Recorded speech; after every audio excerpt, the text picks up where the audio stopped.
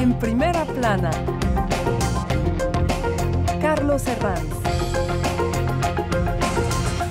Bienvenidos en Primera Plana, un programa de Radio Francia Internacional y de France 24. Esta semana ponemos el foco en el aniversario que se cumple del ataque del 7 de octubre y la expansión del conflicto en Oriente Próximo. Nos acompañan tres invitados en esta mesa y uno a distancia, ya les presento.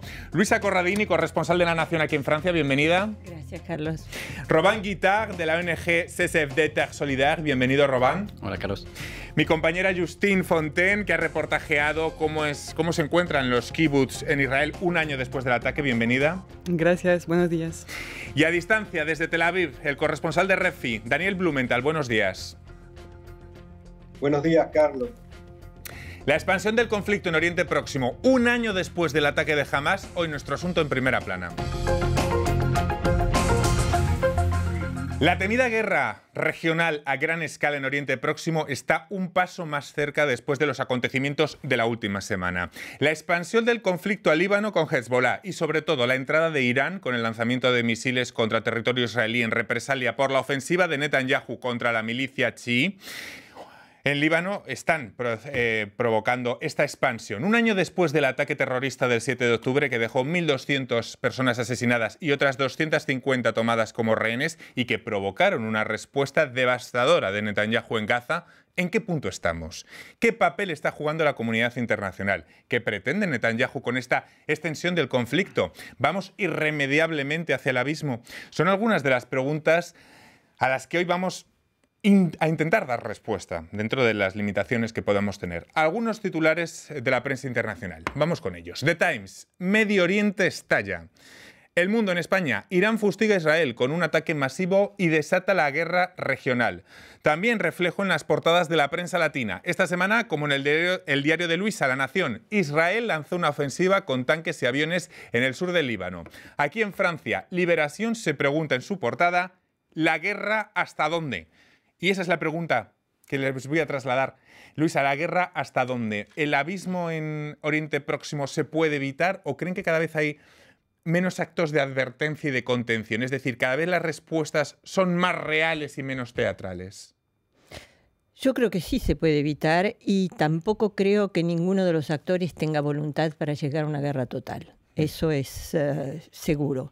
Pero por supuesto, esta situación eh, provoca otras situaciones mucho más graves, como por ejemplo el estallido del sistema internacional que rige o que organiza el mundo desde la Segunda Guerra Mundial. Esto es gravísimo porque hay países como Israel o como Rusia que hacen lo que se les da la gana o lo que creen conveniente por objetivos concretos y sin ningún control y sin que nadie pueda pararlos. Es verdad que de toda esta situación se destila esa sensación que ya desde hace años de impunidad de ciertos países que no, parecen no están sujetos a ninguna, a ninguna ley internacional. Eh, Robán, ¿vamos directamente hacia el abismo? en Oriente Próximo? Yo creo que el tema de la responsabilidad de la comunidad internacional es muy grande en este tema. Yo creo que el conflicto ahora en Gaza, eh, ahora también en Líbano, eh, se ha vuelto, sobre todo en el sur global, como un símbolo muy grande de injusticia por este tema justamente de la impunidad de Israel. Eh, porque en los últimos meses el derecho internacional ha sido muy clave. Hubo eh, decisiones de la Corte eh, Penal Internacional, la Corte Internacional de Justicia, justamente apuntando a la ilegalidad de la colonización desde décadas y que la comunidad internacional no ha hecho nada. Estamos también en lo del 7 de octubre de 2023 porque la comunidad internacional se olvidó de Palestina desde años. Y entonces es también un, una, un recordatorio muy fuerte de que ya no se puede olvidar y se necesita una solución eh, de justicia a este conflicto, si no vamos a ser testigos de más masacres uno y otra vez. Justina ha estado sobre terreno, viene de reportajear un kibutz atacado el 7 de octubre, en concreto Nir Oz, a 3 kilómetros de Gaza. Eh, luego le, voy a preguntar que, Justin qué ambiente se ha encontrado allí, pero eh, las sensaciones también donde, donde ha pisado usted terreno de que vamos hacia el abismo? Eh, no podría contestarle específicamente sobre eso. Lo que sí puedo decir es que cuando hablé con manifestantes, por ejemplo, en Tel Aviv, en la eh, protesta que hay cada sábado, ahí em, los manifestantes, incluso de izquierda y algunos que se consideran como pacifistas, justifican la ofensiva israelí en Líbano diciendo que es defensa propia y que como Hezbollah los está atacando tienen que contestar y hay poca, eh, pocas palabras, digamos, eh, acerca de lo que pasa con los civiles en Líbano, por ejemplo, incluso en esas protestas que son eh, en su mayoría de la izquierda israelí.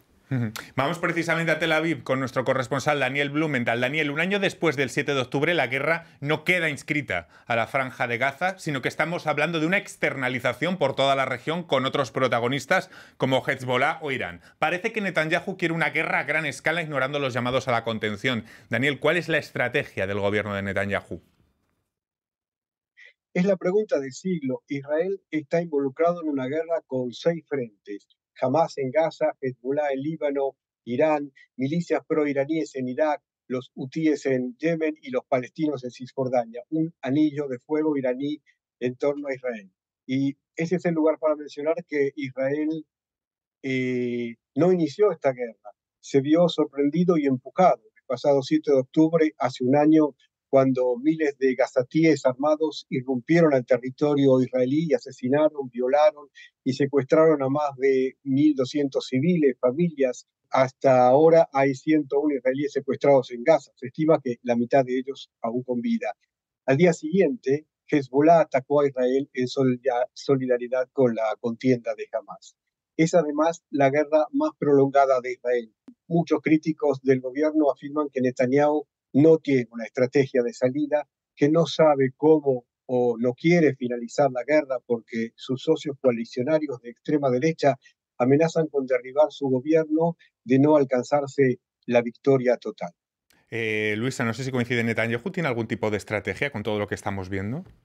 Eh, la verdad es que a mí me parece claro lo que dice Daniel. El problema de Netanyahu, todos lo sabemos, es que además tiene problemas personales con la justicia, y consecuencia trata de mantenerse en el poder eh, la mayor cantidad de tiempo posible. Es rigurosamente cierto que Israel se encontraba cercado por enemigos y hmm. que tiene todo el derecho del mundo de defenderse y tiene todo el derecho del mundo de terminar con ese anillo de hmm. fuego y de extremismo que lo rodea y que lo amenaza. El problema es histórico. Pensemos en todas las crisis y yo he tenido la mala suerte este, de, cubrir muchas de ellas, que, que ha padecido la región. ¿Qué es lo que ha resuelto? Lo único que se ha hecho es empeorar la situación sencillamente porque hay extremistas de los dos lados que no quieren aceptar una solución negociada. Dos estados, otro tipo de solución, pero esa va a ser la única posibilidad de que esos dos pueblos puedan hallar, volver o vivir alguna vez en paz. Eh, la estrategia de Netanyahu es una cuestión de táctica y no de estrategia. El problema es qué se hace a nivel general políticamente para terminar con esto. Es muy difícil con dos interlocutores cada vez más radicalizados que parece que son como vasos comunicantes. Necesitan la radicalidad del uno alimenta la del otro. Totalmente, absolutamente. Y ese es el problema. Israel, como yo lo conocí hace 30 años, no es el mismo Israel que ahora.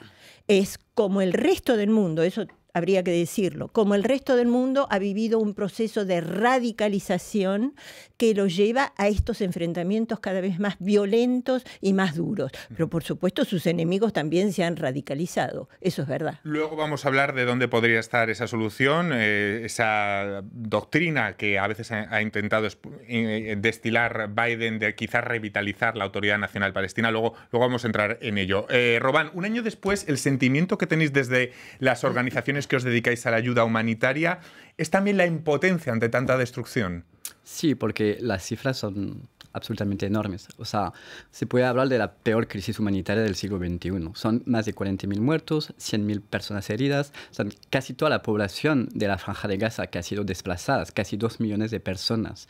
Eh, las necesidades humanitarias son altísimas. Eh, ahora que se está acercando también el invierno, pues en los campos de refugiados necesitamos eh, ayuda alimentaria, acceso a agua potable y todo eso. Y el problema es que casi 83% de la ayuda alimentaria no entra todavía, porque las autoridades de Israel no permiten que toda la, ayuda necesaria entre. Em, todavía necesitamos eh, eh, entonces que hay un desbloqueo de esta ayuda humanitaria. También eh, estamos trabajando en un contexto muy, muy peligroso. O sea, en un año son casi 300 personal humanitario que ha sido matado en Gaza. O sea, son cifras que nunca le hemos visto antes en ningún conflicto en, en el planeta. Ya ven que en este programa intentamos trazar diferentes perspectivas en este aniversario. Vamos de la geopolítica, la humanitaria y también la que ha tenido sobre terreno eh, posibilidad de testar mi compañera eh, Justine Fontaine, que ha estado en Ir Ots, en un kibutz a tres kilómetros eh, de Gaza. ¿Qué ambiente se respira un año después en, los kibbutz, Justine? ¿Qué te has encontrado allí?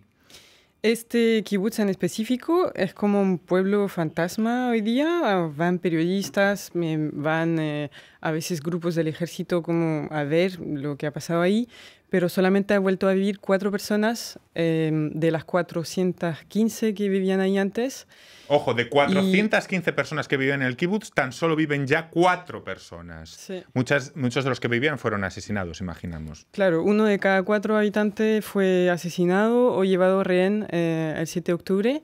Entonces el pueblo está viviendo en, departamentos que, que arrienda el gobierno por ellos y van a decidir de aquí a dos años si reconstruyen el kibutz o si se quedan eh, en otro lugar. Y es bien interesante, o sea, estando ahí se ve la franja de Gaza. Está al final del pueblo, uno ve campos y se ve Han Yunes desde el mismo pueblo para explicar lo cerca que queda de, ahí.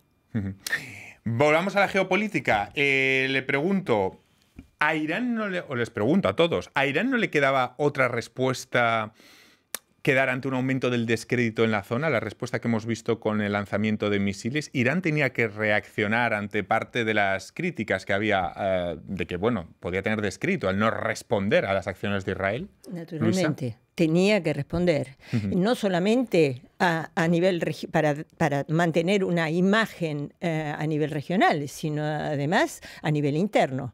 Eh, recordemos que Irán, como cualquier otra sociedad, está tironeada en el interior con distintas eh, este, corrientes. Hay algunos que son halcones y durísimos, hay otros que aparentemente están girando cada vez más hacia una posición un poco más progresista. Eh, incluso hay expertos que consideran que las muertes recientes tanto de Nasrallah como del expresidente y de Aniyeh, el líder eh, de Hamas en Irán, han sido mm, alentadas, por no decir organizadas desde dentro del régimen iraní. De manera que sí, no podía ser otra cosa, pero vemos, observamos claramente que hay siempre, como se dice en Francia, una retenue. Eh, es, em, es para el espectáculo, es una gesticulación. Es tremendo el juego de matices que hay en la, en la geopolítica y sobre todo en, en, este capítulo del que, del que hoy hablamos. Vamos a irnos brevemente a hacer una pausa, pero enseguida volvemos aquí en primera plana. Hasta ahora.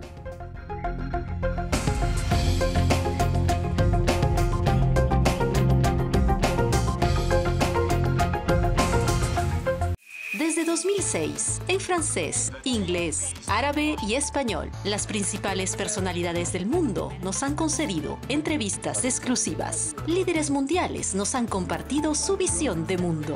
Artistas y creadores nos inspiran con su trabajo y sus ideas. Intelectuales e innovadores nos cuentan cómo dan forma a nuestro futuro. Las grandes personalidades están en France 24. Liberté, égalité, actualité.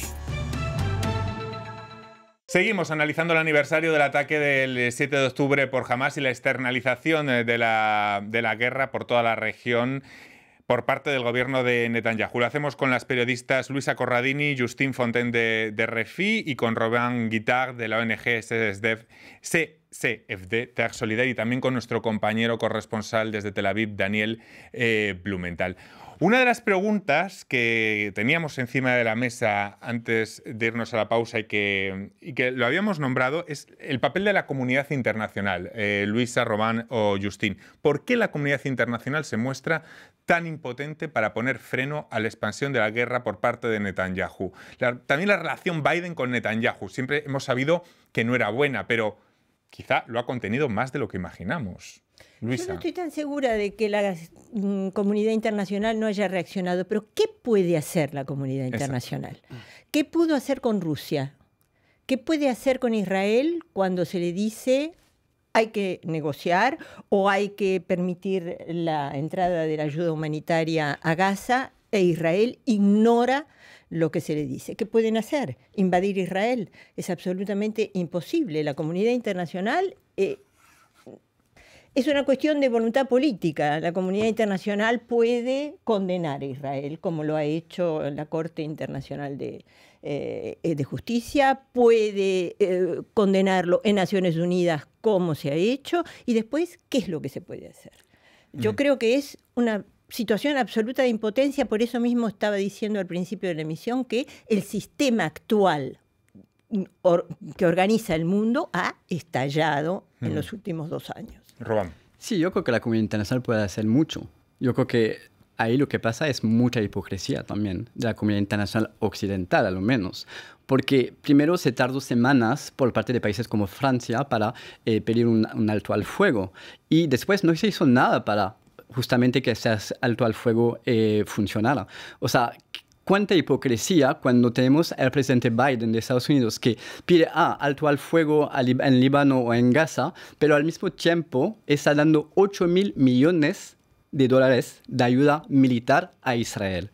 Eh, cuánta hipocresía de pedir un alto al fuego por parte de los países europeos, pero eh, seguir siendo el primer socio comercial de Israel. Hay un acuerdo de asociación entre la Unión Europea e Israel. Nosotros pedimos desde meses que se suspenda ese acuerdo de asociación porque hay cláusulas diciendo que si hay violaciones de derechos humanos se puede suspender este eh, acuerdo de asociación. No se, es, no se hace. O sea, no se hace ninguna presión real política sobre Israel. La diferencia entre Israel y Rusia es que Israel es el aliado de Estados Unidos de los países europeos, que no es lo que es Rusia. Entonces, sí, se puede hacer mucho más, pero no hay voluntad política para hacerlo. Yo creo que es importante que sí se mantenga, eh, que se conserva la, seguridad de Israel. El, tema no es poner eh, en jaque la, seguridad de Israel, pero justamente si no entramos en una solución política a este conflicto, pues no, va, no se va a solucionar nada. Lucian.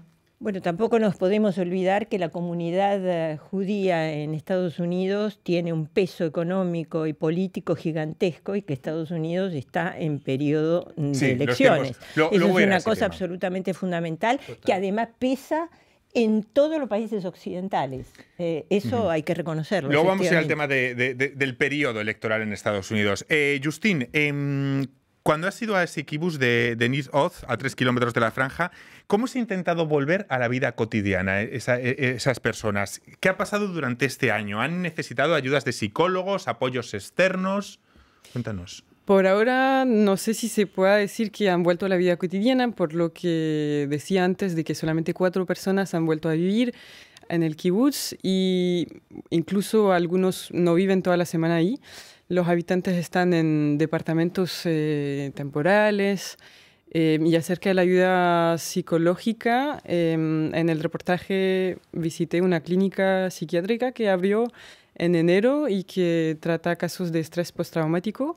Y el psiquiatra ahí explicaba que em, va a ser un tema de dos o tres décadas em, gestionar eh, el estrés postraumático de soldados y civiles que han sido eh, víctimas de, trauma desde el 7 de octubre. Un año después hablamos de cómo sienten todo esto desde dentro de la sociedad israelí.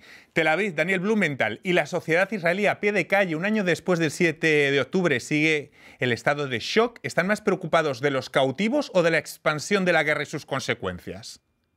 La sociedad israelí está muy dividida en casi todos los temas que atañen a la sociedad, pero unificada frente a los peligros de afuera durante las últimas semanas, desde que Israel tomó la iniciativa como el ataque, con los Vipers localizadores, el alquinamiento del secretario general de Hezbollah, Hassan Nasrallah, y de la cúpula de comando y la incursión terrestre en Líbano para alejar a los combatientes de Hezbollah decenas de kilómetros hacia el norte, hay un amplio apoyo al gobierno. Paralelamente, continúan las críticas por la falta de horizonte político y la negativa a un intercambio de prisioneros, eh, que deberá incluir una tregua prolongada en Gaza, la sociedad israelí sí salió a la calle y no desde el 7 de octubre, sino desde el 4 de enero, al vociferar su oposición a las intenciones del gobierno de Netanyahu de debilitar el sistema judicial y convertir a Israel en una autocracia. Son las mismas energías que siguieron tomando la calle exigiendo un arreglo político y diplomático para el fin de la guerra y el regreso de los secuestrados. Por cierto, eh, Robán, desde las organizaciones de ayuda humanitaria, ¿qué cálculos hacéis de lo que será el día de mañana una reconstrucción de Gaza? ¿Cuánto tiempo se necesitaría y cuánta inversión se necesitaría? Yo creo que es muy temprano para responder esta pregunta. O sea, la situación en la franja está totalmente destruida, la franja. Eh, pero yo creo que no es la, la pregunta que tenemos que, mm. que, que, responder ahora, porque si es solamente decir cómo vamos a reconstruir eh, Gaza hasta la próxima vez que está otra vez destruida, mm. ¿para qué sirve? O sea, no es el trabajo que nosotros queremos hacer. Entonces, otra vez yo apunto a que qué solución política se tiene que eh, ahora poner en la mesa. También es cuestión de qué diálogo entre sociedad de, eh, sociedades palestinas e israelí. Yo creo que también hay que ahora también apuntar mucho más a la sociedad civil de esos dos países, mm. porque ahí creo que hay más potencial de diálogo que entre esos gobiernos que son extremistas por las dos, por las dos partes y donde pues estamos en la situación ahora también por esta eh, eh, limitación política. Entonces hay que apuntar yo creo a un diálogo entre eh, poblaciones perdón, y sociedad civil. Vamos a hablar de posibles soluciones, vamos a hablar a partir de este aniversario de cómo podemos encarar el futuro. Luisa, favorecer una, eh, una mm, autoridad nacional palestina revitalizada, que controle los territorios palestinos, esa que se había dicho que era un poco la doctrina Biden, ¿tiene sentido a la hora de encontrar una salida un año después? Yo estoy de acuerdo con, uh, con, lo que acaba de decirse. Me parece que es demasiado pronto para pensar en eso en este momento. Al principio, después del 7 de octubre, se dijo que efectivamente esa era una de las posibles soluciones.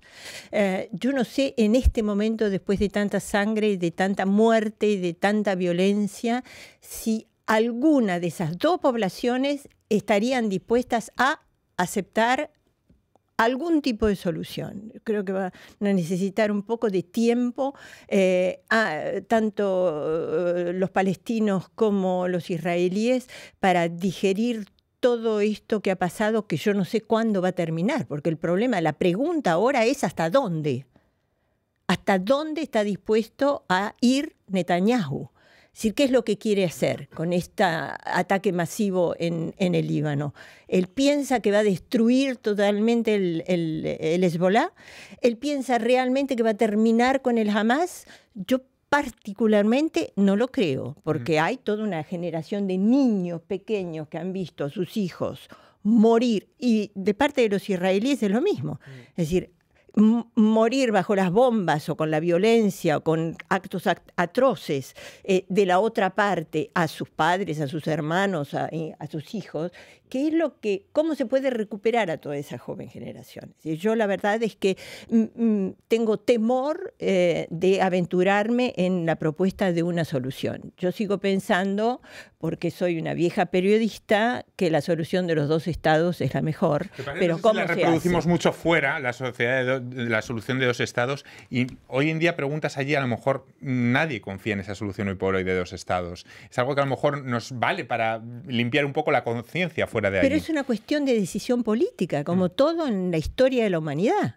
Es decir, lo que pasa es que con los actuales protagonistas es imposible llegar a cualquier solución. La supervivencia política de dos actores como Netanyahu y, Hamas hacen las cosas complicadas y además uno depende del otro. El radicalismo se retroalimenta uno del otro. Exactamente. Y no solamente eso, sino el radicalismo de aquellos que alientan las, eh, la instalación de los colonos absolutamente todo se ha radicalizado. Robán. Sí, estoy muy de acuerdo. Y también, si queremos una solución política, tenemos que responder a las causas profundas de este conflicto.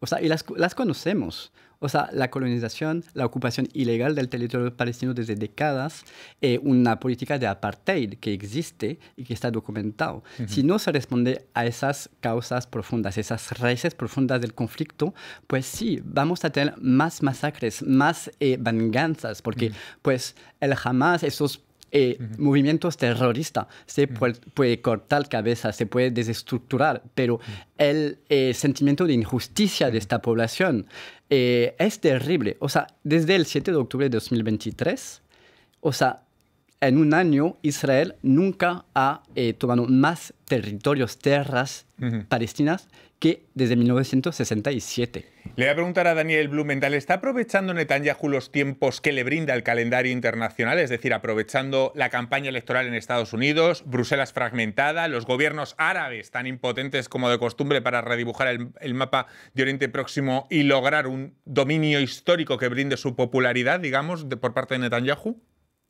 Netanyahu no oculta ni lo hizo cuatro años atrás su preferencia por el triunfo republicano en las elecciones de noviembre en Estados Unidos.